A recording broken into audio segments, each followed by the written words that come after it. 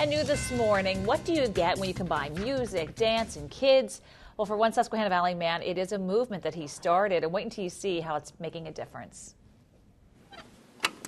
H Y P E. G C Seaburg Heights. Seaburg H Y. We're at Chambersburg High, and you're watching the members of HYPE. HYPE stands for Helping Young People Excel. Can't stop me, so It's a group born from Jason Reed's vision and an organization he calls REACH. get it hot, get it hot, get it Oh my goodness.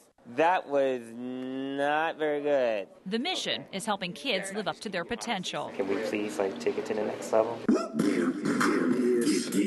Trained in dance at Juilliard, Reed started a movement that expands from Carlisle to Chambersburg. Now 400 members strong, it's about kids not just dancing, but gaining tools that'll help them in life. I would see young people out not doing the most productive things. So I thought if I'm not part of the solution, I'm part of the problem. Using pop culture, he's bringing kids together from all walks of life, like Shanice and Brandon. It makes me feel good. It gives me some confidence knowing that I can do something and I'm just getting better at it each day. It means that I have like a second family.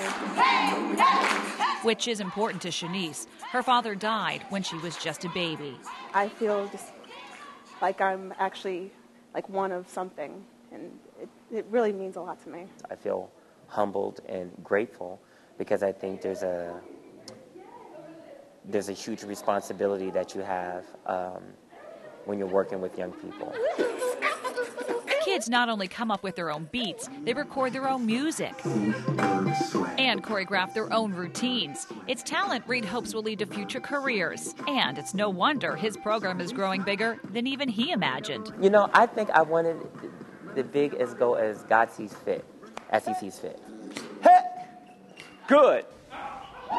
Yeah, so fun watching those guys. I so enjoy doing the story. Reach is supported by local businesses and it's run out of Carlisle and Chambersburg for now. This is catching on like gangbusters. It's open to kids from kindergarten through college. So it teaches these kids a lot. And that music you heard was original for to the one about member that? there. And they perform all over, you know, for groups, senior citizen centers, events. You know what? You can tell how much they enjoy it too, which is great. Yeah, and the one girl, though, I think Shanice said she wants to go into college and do something in mm. performing arts. So It's great for them to have a passion to do that. Yeah. And we did not see you dancing. I have to admit, I was watching where the camera was because man, I was jamming. But um, I need to learn how to do the glide. I have to. I have to talk to uh, Ken, our photographer, because he really needed to get a shot. I was going to get in the middle of that the freestyle action there, but I'm like, you know Yes, what? I'll just in put the these kids the to shame. Go, Lori. Go, Lori. Oh, had a good time doing that. All right, let's